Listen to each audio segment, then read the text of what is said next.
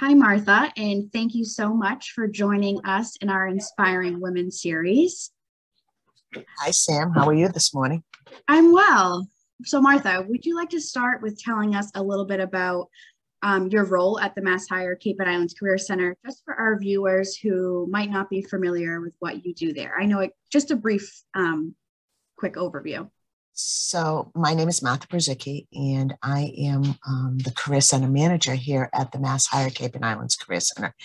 And primarily, what I am charged with is making sure that our job seekers are getting what they need um, to move forward into employment, training, or what have you. Um, so uh, that's kind of what I do here is oversee um, all of the operations here at the Career Center. Thank you. And so, Martha, when you began your career there, how long have you been at the Career Center? I have been part of JTEC, which is the Job Training and Employment Corporation, for over 35 years. Okay. Uh, okay. So I started as a um, summer youth counselor, um, and I have um, gone through from being a youth counselor to being a youth services coordinator to being um, a vice president um, with JTEC. Wow. Okay. So, did you ever imagine that you would be in that role that you are in now? Did you see yourself following this career path when you were a young woman? Uh, no, actually not, because I went to school and got my bachelor's degree to be a teacher. Oh, no. Um, so, and I did teach in the city of Springfield um, okay. for quite a few years. And then I also worked for the Hampshire Educational Collaborative um, in South Hadley. So I did um, more teaching than anything else. So in my the beginning of my career, I never thought that I would be working in a nonprofit. Um, I actually thought that I would, you know, end my career in a school system um, instead of uh, being in a nonprofit organization. Mm-hmm. Interesting. So now, can you talk about has anybody ever motivated you and what motivates you to kind of step up and become that leader in the leadership role that you're in now? I think that for me, it was a natural progression. Um, it wasn't something that I sought after um, to become a supervisor or to become someone that oversees different programs. Uh, I think that it just, um, for lack of a better word, it, it just was the natural progression of how my career at the time was moving. Mm-hmm. Um, so, you know, I've been in this particular position for probably 25 years. Oh, um, okay. Um, so in the beginning, it was just a natural progression to um, to become a leader in the mm-hmm. organization. Mm-hmm. And now I know the Career Center director is a female as well. Do you feel there are benefits of having women in leadership roles? I think it's really important that we have women in leadership roles for a variety of reasons. I think that women bring a different perspective to the table. Um, they see things differently than men. Um, men are very, um, and I'm going to say it this way, they're more um, concrete, mm-hmm. whereas women are more looking at different options usually. Mm-hmm. Um, men are more, it's yes or no. Women, I think, are more like maybe. I also think that having a woman running an organization, um, especially in the situation that I'm in, um, the president of JTEC has always been very, very um, encouraging to families. So, to give you an example, when I had my children, I always will say I had my children with her. I mean, I my first daughter, when she was born, she was in the office with me for six months. Oh. Um, when my second child was born, she was in the administrative offices with my boss all day um, oh. and her administrative assistants. So um, that allowed me to be able to grow in my career. Um, it helped the organization as well, but I think that it was really important that I was working for another woman who also had children, even though her children were much older than mine. Mm-hmm. She understood what it was like to be a mother in the working world and have a job with a lot of responsibilities. Absolutely. I think it allows us to connect with one another. There's that certain flexibility. And like you said, we have that opportunity to think out of the box. Um, yeah. So, and now what benefits have you received from your leadership role? Um, I think for me, I always have believed that the answer is in the room um, with any group of people that I'm with. And so it has helped me to see things differently. Um, as I've gotten older in the world of work, I enjoy listening to different perspectives, perspectives from different young women as mm-hmm. to how they see things. So um, mm-hmm. for me, it's always been a learning thing, and I've mm-hmm. always wanted to learn. Mm-hmm. So um, I think that that is how it's benefited me in mm-hmm. seeing things differently and being open to how people see things. I love that. And now, what is one thing you wish you knew earlier in your career? One thing I wish I knew earlier in my career was that people are human. I think sometimes when you're young and you're getting started, you want things to be, and if you're highly motivated, you want things to be perfect mm-hmm. and you want to do a really good job and you have that work ethic or, you know, what people say, you know, the fire in the belly to do well. Um, sometimes I think that stops us from understanding that everybody's human um, and that mistakes are possible um, and mistakes just bring opportunities. I wish that I had not been so stressed out about those kinds of things in my younger years. Mm-hmm. That's that's great advice. Certainly, I'm listening to these helpful tips as well. you um, should be. um, so, how can leaders provide useful mentorship to women to help them advance in their career?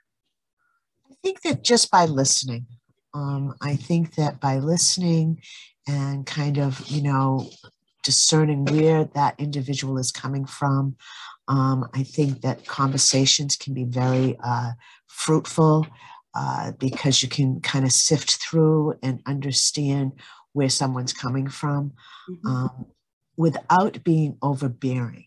And I think sometimes um, women in particular, we are always trying to fix something. Um, so if somebody brings up a challenge, we always will jump in and try to fix it. And I think sometimes when you're mentoring someone, that individual really needs to figure it out for themselves. Not that you're not going to give them advice, right. but you shouldn't be jumping to fix, right. Um, right. which I think women do in general. Mm-hmm. And on the topic of mentorship, did you have a mentor? Um, I don't think that I had an actual formal mentor, mm-hmm. but I have worked for the same individual for over 35 years. So I think that I did learn a lot from her. Mm-hmm. And if I was going to say that there was a mentor in my career, I would say that it was her. Mm-hmm. And did anybody inspire you along the way, whether it was back when you were in education or when you were in the career center? Has anybody inspired you? And if so, can you tell us why? Well, I think that the person that inspired me the most in the world of work was my father. Um, and I come from a family that um, I'm second generation, but my father was first generation here in this country. And with that came a very strong work ethic. Mm-hmm. And I think that that was instilled um, in me as well. Um, mm-hmm. so I would say that it was my father that motivated me and also inspired me because none of us were ever afraid to work. Mm-hmm. And I think as my father was a role model that ran a business with 250 employees, he was a model to those folks as well because he always did whatever job it was, yeah. um, whether it was emptying the trash or, you know, um, making copies. And so that I think was instilled in me too that, you know, you need to be the leader, you need to do the hard jobs the dirty jobs and the ugly jobs just like anyone else. Mm-hmm, mm-hmm. And have you drawn any professional inspiration from other female leaders? I know you well, talked think, about. Go ahead. I think on the Cape, you know, we're really lucky. We have a lot of female yeah. leaders in the nonprofit world, but mm-hmm. also in the private business world. And um, I think that that might not be the norm in other parts of you know massachusetts or even other parts of the country.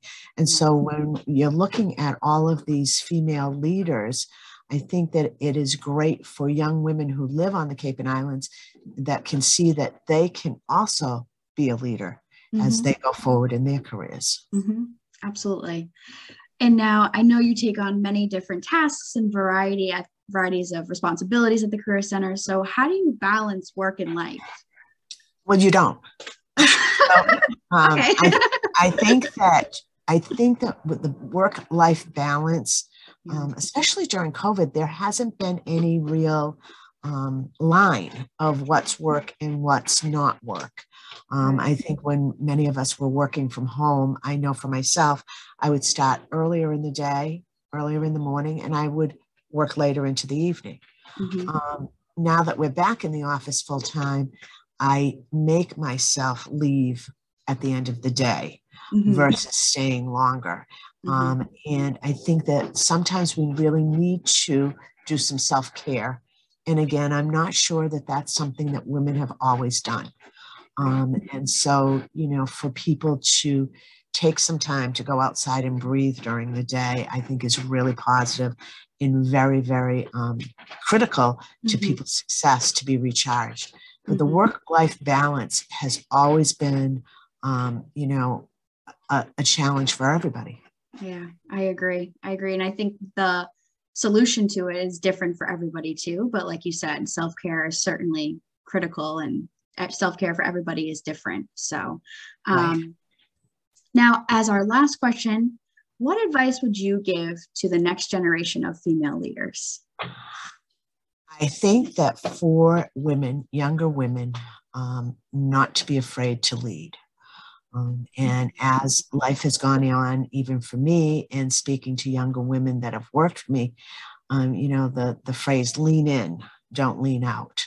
And I think that if people, if women want to become leaders, and I'm not sure that everybody does, and I'm not sure that it happens for everyone, mm-hmm. but lean into the conversations and not to be afraid to voice your opinions. And I think depending on the, the woman, they are reluctant to give up their opinions. Um, so I guess, you know, my biggest advice would lean into any conversation you're in. Thank you. I love that advice. It's it's advice I haven't heard before, so I know that this is going to be beneficial to any young woman who is possibly watching this interview with you and I. So, Martha, that completes our interview. I want to thank you so much for joining me this morning. This has certainly been um, a great opportunity to be able to hear your answers and how you have made it to your leadership role as a woman today. So, thank you so much. And thank you.